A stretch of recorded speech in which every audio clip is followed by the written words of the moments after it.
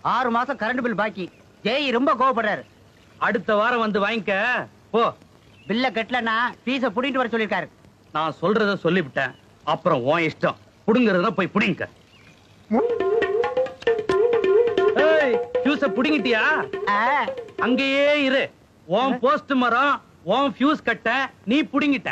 நிலம் என்னது? காலை கீழே வச்ச வெக்கடி, வெட்டிடுவேன். போறது? கம்பி போட்டிருக்கீங்களா அப்படியே போங்க.